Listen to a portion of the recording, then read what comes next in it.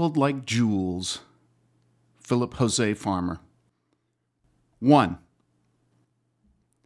Jack Crane lay all morning in the vacant lot.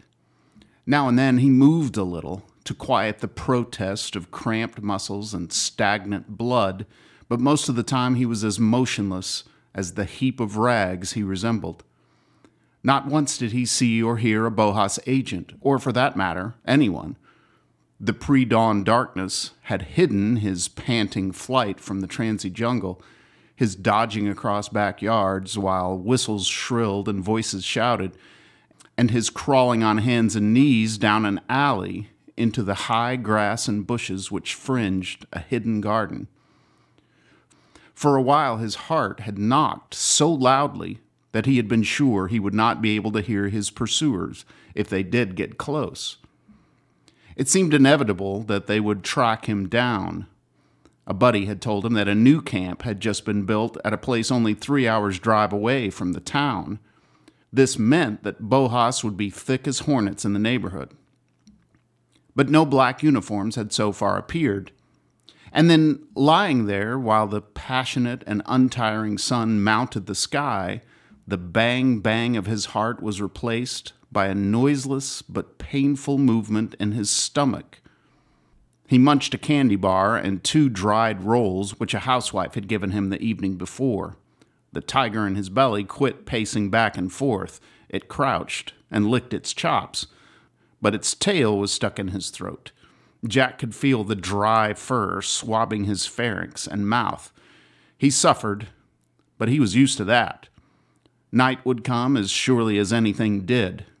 He'd get a drink then to quench his thirst.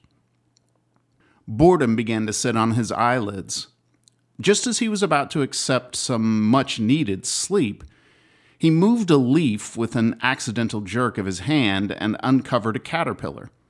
It was dark, except for a row of yellow spots along the central line of some of its segments. As soon as it was exposed, it began slowly shimmying away. Before it had gone two feet, it was crossed by a moving shadow. Guiding the shadow was a black wasp with an orange ring around the abdomen. It closed the gap between itself and the worm with a swift, smooth movement and straddled the dark body.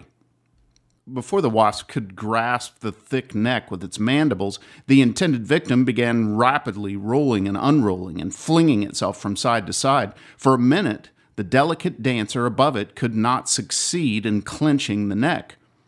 Its sharp jaws slid off the frenzied, jerking skin until the tiring creature paused for the chip of a second. Seizing opportunity and larva at the same time, the wasp stood high on its legs and pulled the worm's front end from the ground, exposing the yellowed band of the underpart. The attacker's abdomen curved beneath its own body, the stinger jabbed between two segments of the prey's jointed length. Instantly, the writhing stilled. A shudder, and the caterpillar became as inert as if it were dead. Jack had watched with an eye not completely clinical, feeling the sympathy of the hunted and the hounded for a fellow.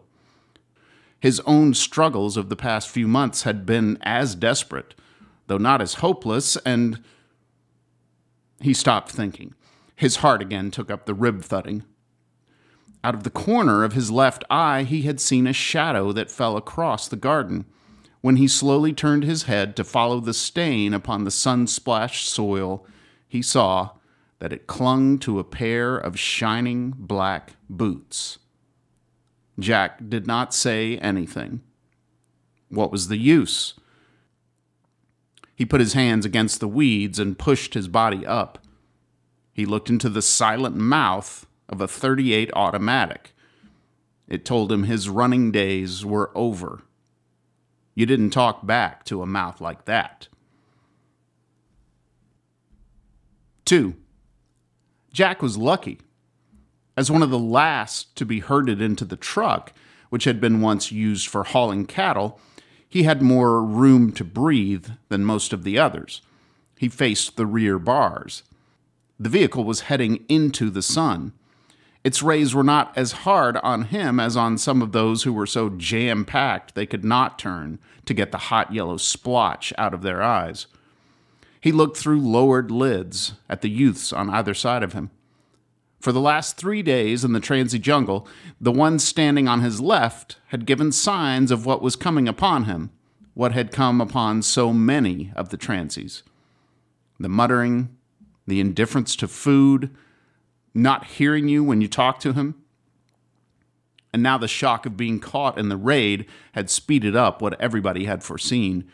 He was hardened like a concrete statue into a half crouch. His arms were held in front of him like a praying mantis, and his hands clutched a bar. Not even the pressure of the crowd could break his posture. The man on Jack's right murmured something, but the roaring of the motor and clashing of gears shifting on a hill squashed his voice. He spoke louder. Cerea flexibilitas, extreme catatonic state, the fate of all of us. You're nuts, said Jack. Not me. I'm no schizo, and I'm not going to become one. As there was no reply, Jack decided he had not moved his lips enough to be heard clearly. Lately, even when it was quiet, people seemed to have trouble making out what he was saying. It made him mildly angry. He shouted. It did not matter if he were overheard. That any of the prisoners were agents of the Bureau of Health and Sanity didn't seem likely. Anyway, he didn't care. They wouldn't do anything to him. They hadn't planned before this. Got any idea where we're going? Sure. FMRC 3, Federal Male Rehabilitation Camp number 3. I spent two months in the hills spying on it. Jack looked the speaker over. Like all those in the truck, he wore a frayed shirt, a stained and torn coat, and greasy, dirty trousers. The black bristles on his face were long. The back of his neck was covered by thick curls. The brim of his dusty hat was pulled down low. Beneath its shadow, his eyes roamed from side to side with the same fear that Jack knew was in his own eyes. Hunger and sleepless nights had knobbed his cheekbones and honed his chin to a sharp point. An almost visible air clung to him, a hot aura that seemed to result from veins full of lava and eyeballs spilling out a heat that could not be held within him. He had the face every trance he had the face of a man who was either burning with fever or who had seen a vision. Jack looked away to stare miserably at the dust boiling up behind the wheels, as if he could see projected against its yellow brown screen his retreating past. He spoke out of the side of his mouth. What's happened to us? We should be happy and working at good jobs and sure about the future. We shouldn't be just bums, hobos, walkers of the streets, rod hoppers, beggars, and thieves. His friend shrugged and looked uneasily from the corners of his eyes. He was probably expecting the question they all ask sooner or later Why are you on the road? They asked, but none replied with words that meant anything. They lied and they didn't seem to take any pleasure in their lying. When they asked questions themselves, they knew they wouldn't get the truth, but something forced them to keep on trying anyway. Jack's buddy evaded also. He said, I read a magazine article by a Dr. Vespa, the head of the Bureau of Health and Sanity. He'd written the article just after the president created the Bureau. He viewed, quote, with alarm and apprehension, unquote, the fact that 6% of those between the ages of 12 and 25 were schizophrenics who needed institutionalizing. And he was, quote, appalled and horrified, unquote, that 5% of the nation were homeless, unemployed, and that 3.7% of those were between the ages of 14 and 30. He said that if this schizophrenia kept on progressing, half the world would be in rehabilitation camps. But if that occurred, the sane half would go to pot, back to the Stone Age, and the schizos would die. He licked his lips as if he were tasting the figures and found them bitter. I was very interested by Vespa's reply to a mother who had written him, he went on. Her daughter ended up in a Bohas camp for schizos, and her son had left his wonderful home and brilliant future to become a bum. She wanted to know why. Vespa took six long paragraphs to give six explanations, all equally valid and all advanced by equally distinguished sociologists. He himself favored the mass hysteria theory. But if you looked at his gobbledygook closely, you could reduce it to one phrase We don't know. He did say this, though you won't like it that the schizos and the transies were just two sides of the same coin. Both were infected with the same disease, whatever it was. And the transies usually ended up as schizos anyway. It just took them longer. Gears shifted. The floor slanted. Jack was shoved hard against the rear boards by the weight of the other men. He didn't answer until the pressure had eased and his ribs were free to work for more than mere survival. He said, You're way off, Schizo. My hitting the road has nothing to do with those split heads. Nothing, you understand? There's nothing foggy or dreamy about me. I wouldn't be here with you guys if I hadn't been so interested in a wasp catching a caterpillar that I never saw the Bohas sneaking up on me. While Jack described the little tragedy, the other allowed an understanding smile to bend his lips. He seemed engrossed, however, and when Jack had finished, he said, That was probably an Ammophila wasp. Sphex ornaria clug. Lovely but vicious, little she demon. Injects the poison from her sting into the caterpillar's central nerve cord. That not only paralyzes, but preserves it the victim is always stowed away with another one in an underground burrow. The wasp attaches one of her eggs to the body of a worm. When the egg hatches, the grub eats both of the worms. They're alive, but they're completely helpless to resist while their guts are gnawed away. Beautiful idea, isn't it? It's a habit common to many of those little devils. Sceliphron cementarium, Eumenes coarcta, Eumenes fraterna, Bembix spinolae, Pelopaeus. Jack's interest wandered. His informant was evidently one of those transies who spent long hours in the libraries. They were ready at the slightest chance to offer their encyclopedic but often useless knowledge. Jack himself had abandoned his childhood bookwormishness. For the last three years, his days and evenings had worn themselves out on the streets, passed in a parade of faces flickered by in plate glass windows of restaurants and department stores and business offices while he hoped. Hoped. Did you say you spied on the camp? Jack interrupted the sonorous, almost chanting flow of Greek and Latin. Huh? Oh, yeah, for two weeks. I saw plenty of transies trucked in, but I never saw any taken out. Maybe they left in the rocket. Rocket? The youth was looking straight before him. His face was hard as bone, but his voice trembled. Yes, a big one. It landed and discharged about a dozen men. You nuts? There's been only one man carrying rocket invented, and it lands by parachute. I saw it, I tell you, and I'm not so nutty I'm seeing things that aren't there. Not yet, anyway.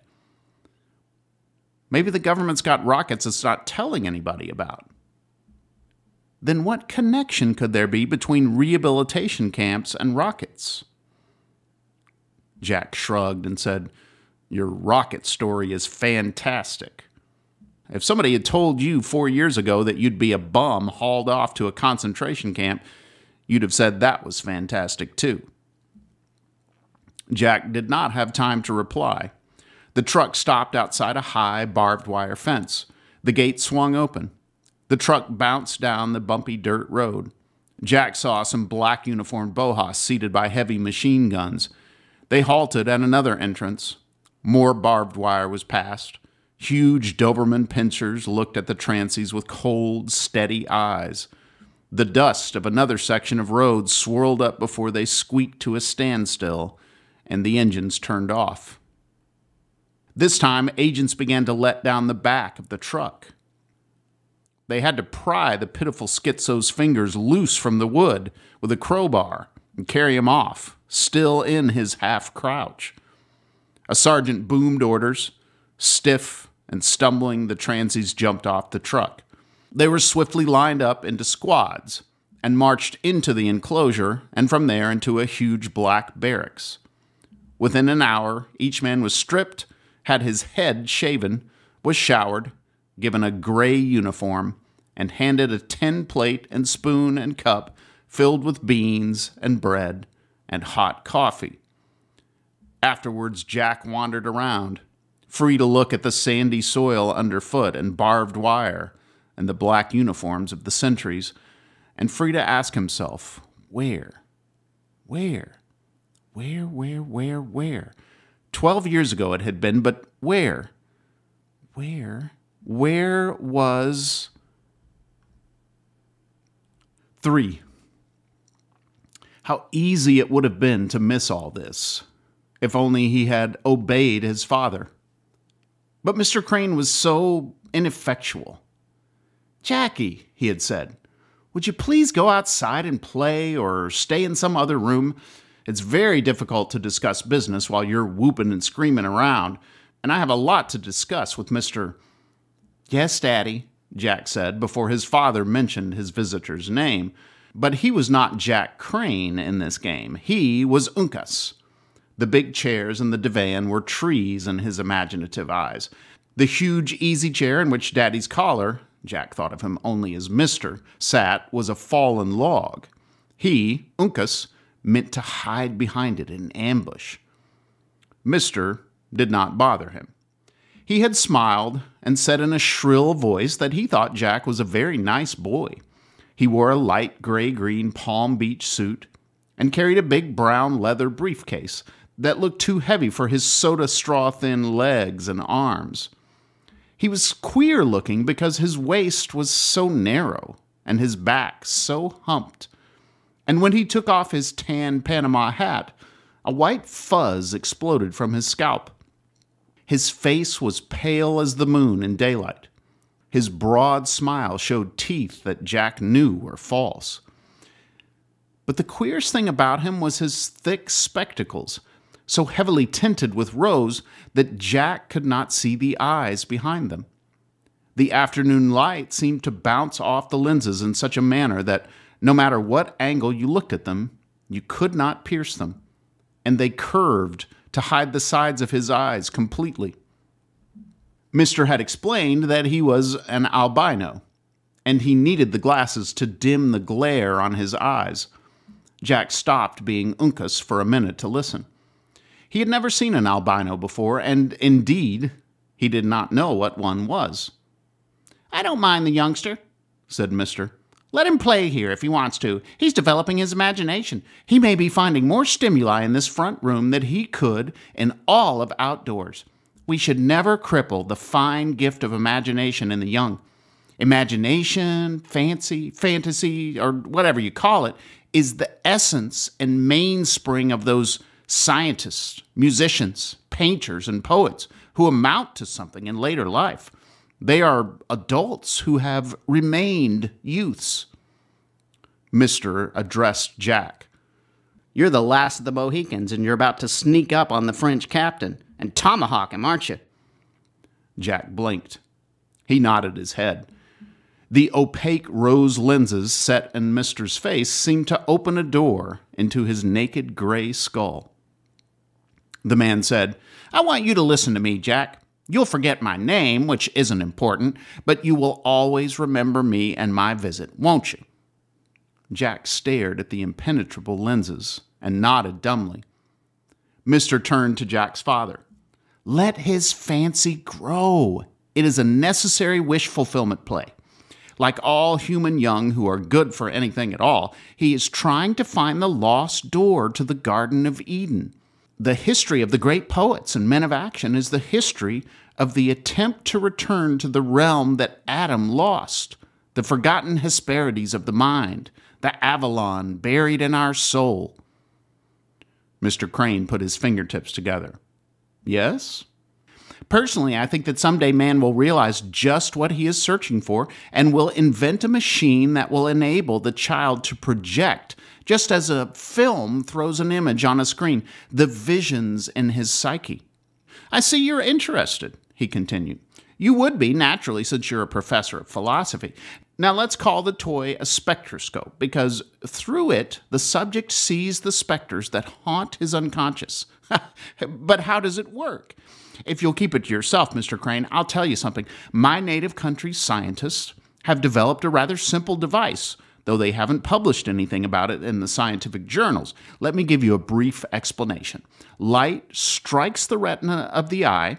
The rods and cones pass on impulses to the bipolar cells, which send them on to the optic nerve, which goes to the brain. Elementary and full of gaps, said Jack's father. Pardon me, said Mister.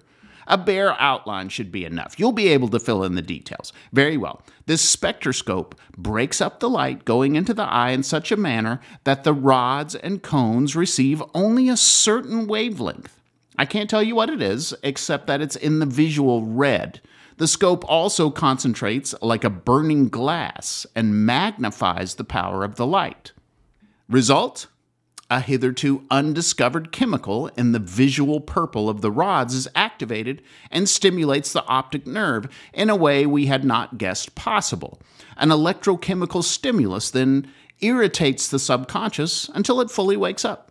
Let me put it this way the subconscious is not a matter of location, but of organization. There are billions of possible connections between the neurons of the cortex. Look at those potentialities as so many cards in the same pack. Shuffle the cards one way, and you have the common workaday cogito ergo sum mind. Reshuffle them, and bingo! You have the combination of neurons or cards of the unconscious. The spectroscope does the redealing. When the subject gazes through it, he sees for the first time the full impact and result of his underground mind's working in other perspectives than dreams or symbolical behavior the subjective Garden of Eden is resurrected. It is my contention that the spectroscope will someday be available to all children. When that happens, Mr. Crane, you will understand that the world will profit from man's secret wishes. Earth will be a far better place. Paradise, sunken deep in every man, can be dredged out and set up again. I don't know, said Jack's father, stroking his chin thoughtfully with a finger. Children like my son are too introverted as it is.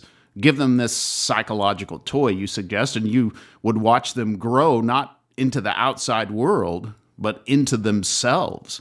They would fester. Man has been expelled from the garden. His history is a long, painful climb towards something different. It is something that is probably better than the soft and flabby golden age. If man were to return, he would regress become worse than static, become infantile or even embryonic. He would be smothered in the folds of his own dreams. Perhaps, said the salesman, but I think you have a very unusual child here. He will go much farther than you may think. Why? Because he is sensitive and he has an imagination that only needs the proper guidance. Too many children become mere bourgeois ciphers and paunches and round old minds full of tripe. They'll stay on earth. That is, I mean, they'll be stuck in the mud. You talk like no insurance salesman I've ever met. Like all those who really want to sell, I'm a born psychologist, Mr. shrilled. Anyway, I have an advantage. I have a PhD in psychology. I would prefer staying at home for laboratory work, but since I can help my starving children, I'm not joking, so much more by coming to a foreign land and working at something that will put food in their mouths, I do it. I can't stand to see my little ones go hungry. Moreover, he said with a wave of his long fingered hand, this whole planet is really a lab that beats anything within four walls. You spoke of famine. Your accent your name. You're a Greek, aren't you? In a way, said Mister. My name, translated, means gracious or kindly or well meaning. His voice became brisker. The translation is apropos. I'm here to do you a service. Now, about these monthly premiums. Jack shook himself and stepped out of the mold of fascination that Mister's glasses seemed to have poured around him. Uncas again, he crawled on all fours from chair to divan to stool to the fallen log, which the adults thought was an easy chair. He stuck his head from behind it and sighted along the broomstick musket at his father. He'd shoot that white man dead and then take his scalp. He giggled at that because his father really didn't have any hairlock to take. At that moment, Mister decided to take off his specs and polish them with his breast pocket handkerchief. While he answered one of Mr. Crane's questions, he let them dangle from his fingers. Accidentally, the lenses were level with Jack's gaze. One careless glance was enough to jerk his eyes back to them. One glance stunned him so that he could not at once understand that what he was seeing was not reality. There was his father across the room, but it wasn't a room. It was a space outdoors under the low branch of a tree whose trunk was so big it was as wide as the wall had been. Nor was the Persian rug there. It was replaced by a close cropped bright green grass. Here and there, foot high flowers with bright yellow petals tipped in scarlet swayed beneath an internal wind. Close to Mr. Crane's feet, a white horse, no larger than a fox terrier, bit off the flaming end of a plant. All those things were wonderful enough, but was that naked giant who sprawled upon a moss covered boulder father? No. Yes, though the features were no longer pinched and scored and pale, though they were glowing and tanned and smooth like a young athlete's, they were his father's. Even the thick, curly hair that fell down over a wide forehead and the panther muscled body could not hide his identity. Though it tore at his nerves, and though he was afraid that once he looked away he would never again seize the vision, Jack ripped his gaze away from the rosy view. The descent to the gray and rasping reality was so painful that tears ran down his cheeks, and he gasped as if struck in the pit of his stomach. How could beauty like that be all around him without his knowing it? He felt that he had been blind all his life until this moment and would be forever eyeless again, an unbearable forever, if he did not look through the glass again. He stole another hurried glance, and the pain in his heart and stomach went away. His insides became wrapped in a soft wind. He was lifted. He was floating. A pale red, velvety air caressed him and buoyed him. He saw his mother run from around the tree. That should have seemed peculiar because he had thought she was dead, but there she was, no longer flat walking and coughing and thin and wax skinned, but golden brown and curvy and bouncy. She jumped at Daddy and gave him a long kiss. Daddy didn't seem to mind that she had no clothes on. Oh, it was so wonderful. Jack was drifting on a yielding and wine tinted air and warmed with a wind that seemed to swell him out like a happy balloon. Suddenly, he was falling, hurtling helplessly and sickeningly through a void while a cold and drab blast gouged his skin and spun him around and around. The world he had always known shoved hard against him. Again, he felt the blow in the solar plexus and saw the gray tentacles of the living reality reach for his heart. Jack looked up at the stranger, who was just about to put his spectacles on the bridge of his long nose. His eyelids were closed. Jack never did see the pink eyes. That didn't bother him. He had other things to think about. He crouched beside the chair while his brain tried to move again, tried to engulf a thought, and failed because it could not become fluid enough to find the idea that would move his tongue to shriek, No, no, no. And when the salesman rose and placed his papers in his case and patted Jack on the head and bent his opaque rose spectacles at him and said goodbye, and that he wouldn't be coming back because he was going out of town to stay, Jack was not able to move or say a thing. Nor for a long time after the door had closed could he break through the mass that gripped him like hardened lava. By then, no amount of screams and weeping would bring Mister back. All his father could do was to call a doctor, who took the boy's temperature and gave him some pills. 4. Jack stood inside the wire and bent his neck back to watch a huge black and silver oyster feel the dusk for a landing field with its single white foot and its orange toes. Blindingly, lights sprang to attention over the camp. When Jack had blinked his eyes back to normal, he could see over the flat half mile between the fence and the ship. It lay quiet and glittering and smoking in the flood beams. He could see the round door in its side swing open. Men began filing out. A truck rumbled across the plain and pulled up beside the metal bulk. A very tall man stepped out of the cab and halted upon the running board, from which he seemed to be greeting the newcomers or giving them instructions. Whatever he was saying took so long that Jack lost interest. Lately, he had not been able to focus his mind for any length of time upon anything except that one event in the past. He wandered around and whipped glances at his comrades' faces, noting listlessly that their uniforms and shaved heads had improved their appearance. But nothing would be able to chill the feverishness of their eyes. Whistles shrilled. Jack jumped. His heart beat faster. He felt as if the end of the quest were suddenly close. Somebody would be around the corner. In a minute, that person would be facing him, and then.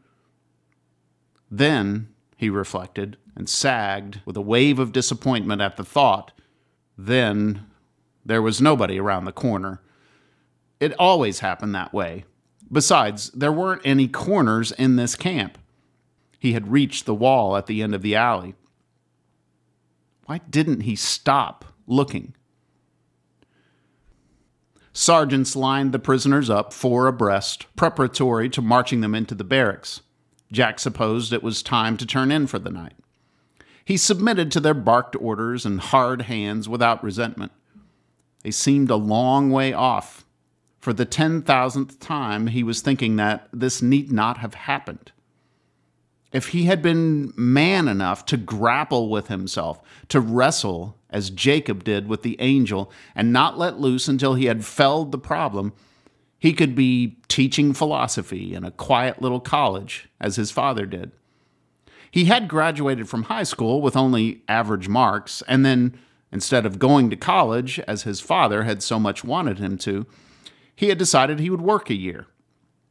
With his earnings, he would see the world. He had seen it, but when his money ran out, he had not returned home. He had drifted, taking jobs here and there, sleeping in flop houses, jungles, park benches, and freight cars. When the newly created Bureau of Health and Sanity had frozen jobs in an effort to solve the transiency problem, Jack had refused to work. He knew that he would not be able to quit a job without being arrested at once. Like hundreds of thousands of other youths, he had begged and stolen and hidden from the local police and the Bohas. Even through all those years of misery and wandering, he had not once admitted to himself the true nature of his fog cottoned grail. He knew it, and he did not know it.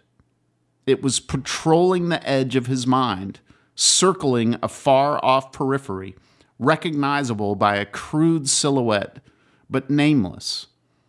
Anytime he wanted to, he could have summoned it closer and said, You are it, and I know you, and I know what I am looking for. It is. is what?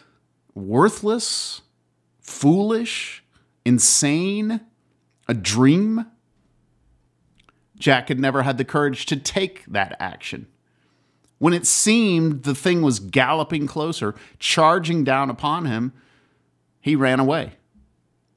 It must stay on the horizon, moving on, always moving, staying out of his grasp. Oh, you guys, Forward march! Jack did not move. The truck from the rocket had come through a gate and stopped by the transies, and about 50 men were getting off the back. The man behind Jack bumped into him. Jack paid him no attention. He did not move.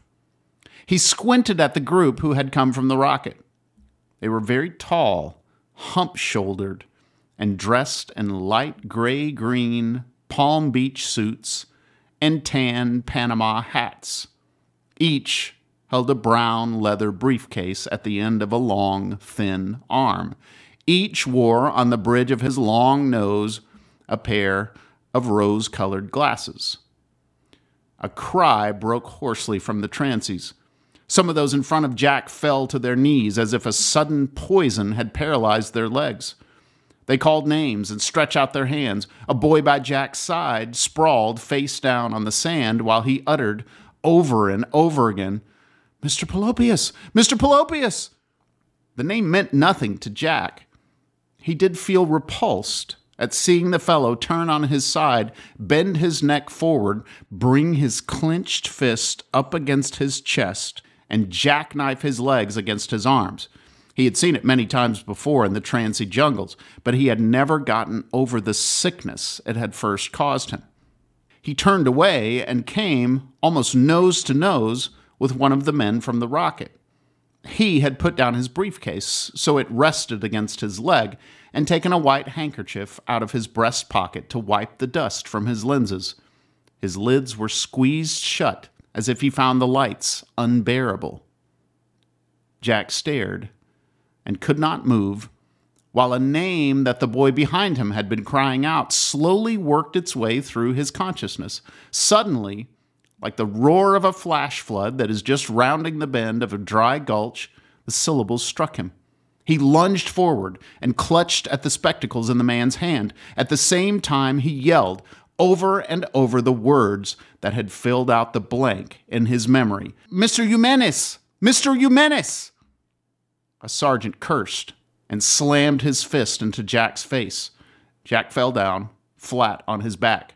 Though his jaw felt as if it were torn loose from its hinge, he rolled over on his side, raised himself on his hands and knees, and began to get up to his feet. Stand still, bellowed the sergeant. Stay in formation or you'll get more of the same. Jack shook his head until it cleared. He crouched and held out his hands toward the man, but he did not move his feet. Over and over, half chanting, half crooning, he said, Mr. Eumenes, the glasses! Please, Mr. Eumenes, the glasses! The 49 Mr. Eumeni, and otherwise, looked incuriously with impenetrable rosy eyes. The 50th put the white handkerchief back in his pocket. His mouth opened false teeth gleamed. With his free hand, he took off his hat and waved it at the crowd and bowed. His tilted head showed a white, fuzz like hair that shot up over his pale scalp. His gestures were both comic and terrifying. The hat and the inclination of his body said far more than words could. They said, Goodbye forever and bon voyage. Then Mr. Eumenes straightened up and opened his lids. At first, the sockets looked as if they held no eyeballs, as if they were empty of all but shadows. Jack saw them from a distance. Mr. Eumenes, or his twin, was shooting away faster and faster and becoming smaller and smaller. No, he himself was he was rocketing away within his own body. He was falling down a deep well. He, Jack Crane, was a hollow shaft down which he slipped and screamed, away, away from the world outside. It was like seeing from the wrong end of a pair of binoculars that lengthened and lengthened while the man with the long sought for treasure in his hand flew in the opposite direction, as if he had been connected to the horizon by a rubber band, and somebody had released it, and he was flying towards it, away from Jack. Even as this happened, as he knew vaguely that his muscles were locking into the posture of a beggar, hands out, pleading, face twisted into an agony of asking, lips repeating his croon chant, he saw what had occurred. The realization was like the sudden, blinding, and at the same time clarifying light that sometimes comes to epileptics just as they are going into a seizure. It was the thought that he had kept away on the horizon of his mind, the thought that now charged in on him with long leaps and bounds, and then stopped and sat on its haunches and grinned at him while its long tongue lolled. Of course, he should have known all these years what it was. He should have known that Mr. Eumenes was the worst thing in the world for him. He had known it, but like a drug addict, he had refused to admit it. He had searched for the man, yet he had known it would be fatal to find him. The rose colored spectacles would swing gates that should never be fully opened. And he should have guessed what and who Mr. Eumenes was when that encyclopedic fellow in the truck had sing songed those names. How could he have been so stupid? Stupid. It was easy. He had wanted to be stupid. And how could the Mr. Eumenes or otherwise have used such obvious giveaway names? It was a measure of their contempt for the humans around them and of their own grim wit. Look at all the double entendres the salesman had given his father, and his father had never suspected. Even the head of the Bureau of Health and Sanity had been terrifyingly blase about it. Dr. Vespa, he had thrown his name like a gauntlet to humanity, and humanity had stared idiotically at it and never guessed its meaning. Vespa was a good Italian name. Jack didn't know what it meant, but he supposed that it had the same meaning as the Latin. He remembered it from his high school class. As for his not encountering the salesman until now, he had been lucky. If he had run across him during his search, he would have been denied the glasses as now and the shock would have made him unable to cry out and betray the man. He would have done what he was so helplessly doing at this moment, and he would have been carted off to an institution. How many other transies had seen that unforgettable face on the streets, the end of their search, and gone at once into that state that made them legal prey of the Bohas? That was almost his last rational thought. He could no longer feel his flesh. A thin red curtain was falling between him and his senses. Everywhere it billowed out beneath him and eased his fall. Everywhere it swirled and softened the outlines of things that were streaking by a large tree that he remembered seeing in his living room, a naked giant, his father leaning against it and eating an apple, and a delicate little white creature cropping flowers. Yet all this while he lived in two worlds. One was the passage downwards towards the Garden of Eden. The other was that hemisphere in which he had dwelt so reluctantly, the one he now perceived through the thickening red veil of his sight and other senses. They were not yet gone. He could feel the hands of the black clad officers lifting him up and laying him upon some hard substance that rocked and dumped. Every lurch and thud was only dimly felt. Then he was placed upon something softer and carried into what he vaguely sensed was the interior of one of the barracks. Some time later, he didn't know or care when, for he had lost all conception or even definition of time, he looked up the deep, ever lengthening shaft of himself into the eyes of another Mr. Eumenes, or Mr. Sphex, or Dr. Vespa, or whatever he called himself. He was in white and wore a stethoscope around his neck. Beside him stood another of his own kind. This one wore lipstick and a nurse's cap. She carried a tray on which were several containers. One container held a large and sharp scalpel. The other held an egg. It was about twice the size of a hen's egg. Jack saw all this just before the veil took on another shade of red and blurred completely his vision of the outside. But the final thickening did not keep him from seeing that Dr. Eumenes was staring down at him, as if he were peering into a dusky burrow. and Jack could make out the eyes. They were large, much larger than they should have been at the speed with which Jack was receding. They were not the pale pink of an albino's. They were black, from corner to corner, and built of a dozen or so hexagons whose edges caught the light.